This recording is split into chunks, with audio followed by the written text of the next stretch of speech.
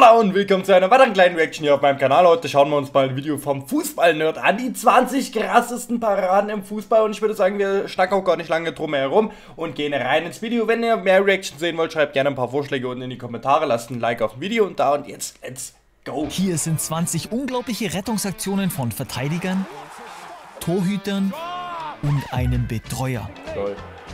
Also ich möchte auf jeden Fall Boateng 2014 dort sehen. Ich meine 2014 dürfte es gewesen sein, Kyle Walker. Und dann äh, die eine Doppelparade von dem, äh, von dem Feldspieler. Sollte sie kommen, dann sage ich es nochmal. Ja, mehr Und dazu Niklas später. Süle, Aber zuerst müssen wir über war. diese unglaubliche Rettungstat vom Manchester City-Spieler John Stones beim Spiel gegen Liverpool sprechen. Ja. Ey, du musst dir mal überlegen. Zuerst schießt Du musst dir mal überlegen, also das ist ja schon eine reine Ping-Pong-Aktion hier, ne? Aber er seinen eigenen Torwart an, diese Aktion hat Manchester City einfach die Meisterschaft gerettet. Ich glaube nämlich, ohne diese Rettungstat hätte Liverpool das Game nicht verloren oder nicht unentschieden gespielt. Ich weiß nicht mehr genau, wie es ausgegangen ist. Auf jeden Fall hätte City nicht die Punktzahl gehabt, die sie am Ende der Saison eben stehen hatten. Und deswegen wäre Liverpool auch am Ende vor ihnen gewesen. Und schießt den Ball dann gerade noch so weg. Ganze 11 mm Ja. vor der Linie. Und das Ey. war erst unsere Nummer 20. Macht euch bereit für weitere verrückte Rettungsaktionen. Für unsere Nummer 19 geht es nach Portugal, EM 2004. Wir sind beim Gruppenspiel der Schweiz gegen Kroatien. Es stand 0 zu 0 und plötzlich das. Oh, yo! Torwart Jörg Stiel schätzte den langen Ball falsch ein und stoppte diesen dann am Boden liegend mit dem Kopf. Nicht so spektakulär wie unsere Nummer 20, Stark. aber ein extrem lustiger Anblick. Unsere Nummer Oh, und Luis Suarez muss natürlich auch noch kommen mit seiner Art Parade 2010 gegen Ghana. 19 hingegen ist der absolute Wahnsinn. Wir sind in der Premier League. Arsenal gegen Aston Villa im Jahr 2009. Und bei Arsenal spielten damals so einige Weltklasse-Spieler. William Gallas, Cesc Fabregas, Robin van Persie. Doch in diesem Spiel war Bakary Sagna der Mann des Tages. Was Junge. für eine Rettungstat.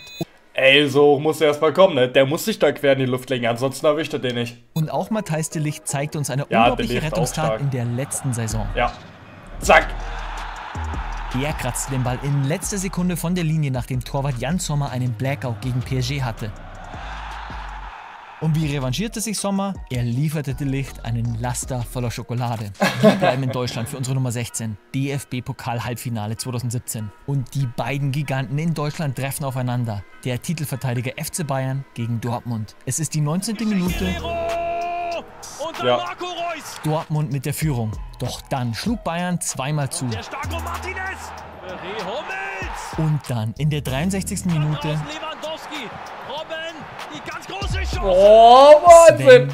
Bender mit einer Legende dieser Bänder. unglaublichen Szene gegen Robben. Das wäre das 3 zu 1 gewesen. Und Dortmund wäre so gut wie sicher ausgeschieden. Und dann in der 69. Minute Der Flanke für Aubameyang. Traf zum Ausgleich. Und Dembele erzielte ein paar Minuten später das Siegtor. Dembele. Und Dembele. Dortmund zog ins Finale ein und gewann den Pokal. Merk schon, der Kollege ist scheinbar nicht der größte Bayern-Sympathisant, wenn er das doch mal so ausführlich in einem 20 krassen, äh, krasse Paraden im Fußballvideo so in die Länge zieht. Alles dank dieser unglaublichen Aktion. Wir wechseln Kontinent und gehen in die USA. New York Red Bull spielte gegen LA Galaxy. Okay. Oh, oh. Wow. kratzte den Ball im letzten Moment stark. von der Linie. Ja, da hätte man den Ball durchaus fester schießen können, Mr. Donovan. Wir gehen ins Jahr 2021. WM-Qualifikationsspiel zwischen Serbien und Portugal. Es stand 2 zu 2 und wir sind in den letzten Minuten des Spiels. Boah, Leute, das Und muss ja wirklich last und second Portugal warfen nochmals sein. alles nach vorne. Ja. Ah, das war doch das Skandalding, ne? Ja. Ey, das war doch das Skandalding. Der Ball war doch eigentlich drin. Ronaldo hat den doch gemacht. Wow, das war knapp. Das Spiel endete unentschieden. Das war nicht knapp, der Ball war drin. Da, also, da gab es gar keine Diskussion. Das hat man ganz klar gesehen in der Wiederholung.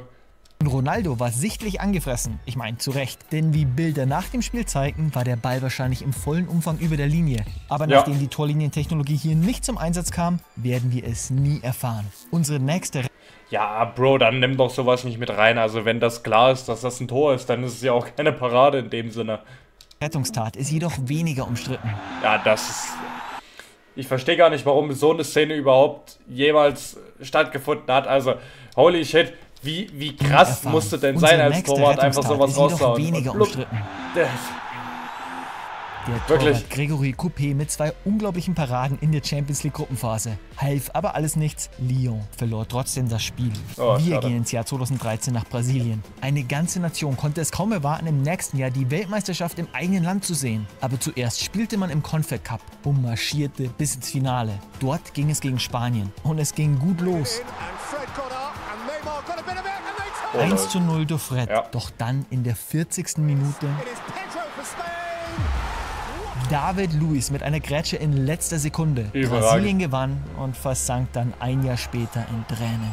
Und wenn ihr mich nicht zum Weinen bringen wollt, dann abonniert uns. Wir gehen ins Jahr 2016, Europameisterschaft in Frankreich. Und im Viertelfinale ging es für den amtierenden Weltmeister Deutschland gegen Italien. Ein Spiel mit guten Chancen. War das Unter das mit anderem in der Boateng? 55. Nee. Ah ja, genau. Bams. Alessandro Florenzi mit einem Kick, auf den die Shaolin-Mönche stolz wären. Das Spiel ging ins Elfmeterschießen und naja, wer erinnert sich nicht an diesen Elfmeter von Sasa? Und schon Und dann sind wir in den Jonas Top 10. Hector. Wir bleiben bei der Euro 2016. Im ersten Spiel ging es für Deutschland gegen die Ukraine und es ging gut los. Doch dann eine gefährliche Aktion der Ukrainer. Oh, da ist es, da ist es. Zack. Jerome Boateng Genau die Szene meinte in ich. letzter Sekunde weg, bevor er selbst ins Tor fällt. Aber ich sag's euch, kein Vergleich zu unseren Top 3. Unsere Nummer 9 war beim Spiel Liverpool gegen Man City. Und es sah so aus, als würde Mo Salah einen schönen Kopfballlupfer machen. Aber einer versaute ihm das Ganze. Ja, das war übrigens auch die andere Szene. Also Boateng, Walker wollte ich beide drin haben und äh, gerade eben wurde die dritte Szene schon gespoilert, die ich sehen möchte in dem Video. Bam! Paul Walker, Kyle war Walker sich so mit gut. allem, was er hatte, dagegen.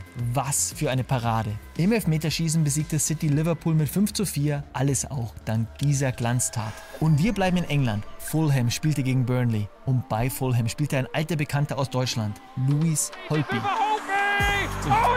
Oh no. Matthew Lowtown in letzter Sekunde. Und wie knapp das Ganze war, zeigt diese Animation. Das sind wirklich Millimeter. Und für jeden Fußballer ist es ein Traum, im Champions League-Finale zu stehen. Und im Jahr 2013 ging dieser Traum für zwei deutsche Teams in Erfüllung. Bayern. War das. Subotic, der das war Ding ein geklärt hat? umkämpftes Spiel und es stand 1 zu 1. Doch dann, Ja, ne, so gut. Äh, ne, Hummels, Leute. Neben Subotic, Äh, doch, kratzte Subotic, den Ball was ist von los der mit- Torlinie Ah, was ist los mit mir, Alter? Ich habe nur, ich hab nur die Haare gesehen. Hab gedacht, nee, hätte auch Hummels sein können. Aber klar, Subotic und Robben.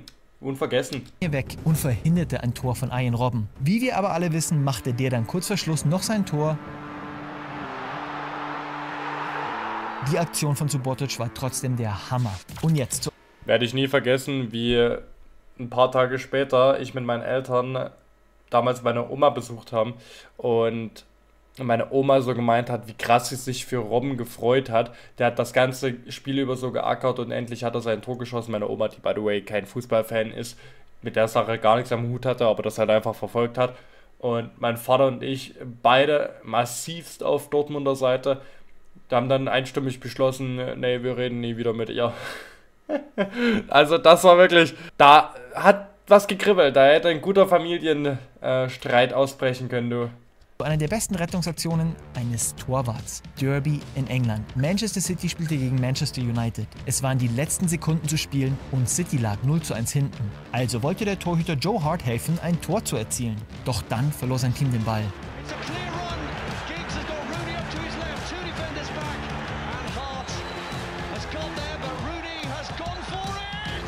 Stark, stark, stark. Puh, Usain Bolt wäre stolz auf ihn gewesen. Das waren gute 60 Meter Vollsprint. Jetzt auf in ein Land, das eher bekannt ist für Surfen, Australien. Doch beim Spiel von Melbourne City sahen wir diese Wahnsinnsrettungstat.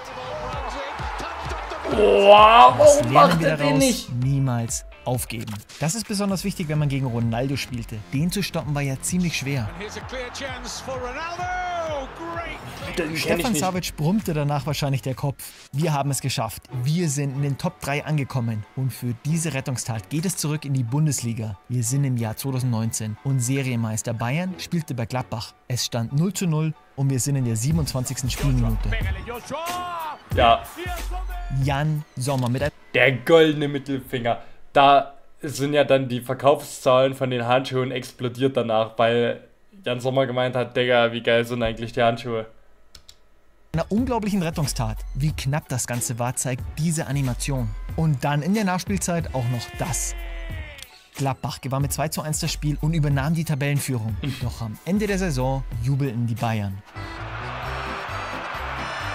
Und unsere Nummer 2, ja, dies alles. Spektakulär, verwirrend, aber vor allem ziemlich lustig. Wir sind im holländischen Cup. Es ist bereits die 90. Minute und es steht 1 zu 1.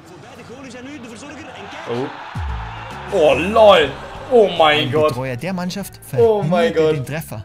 Unglaublich. Kein Wunder, dass die gegnerischen Spieler sauer waren. Ja, was macht man da jetzt also als Schiedsrichter? So eine Situation kommt ja nicht so häufig vor. Es gab Schiedsrichterball.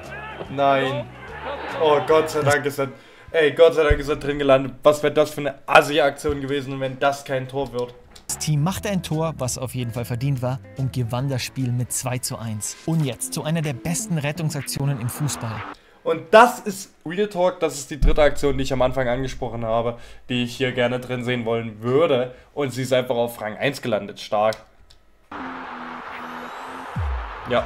Verteidiger Evgeny Chernov kratzte den Ball Millimeter vor der Linie weg und wirft sich dann noch mit allem, was er hatte, in den Schuss. Und wenn ihr weitere unglaubliche Momente sehen wollt, Ey, nee, stark. Link zum Video und zum Kanal sind wie immer unten in der Videobeschreibung. Kriegt auf jeden Fall ein Like und ein Fußballnerd. Habe ich auch noch nie abonniert.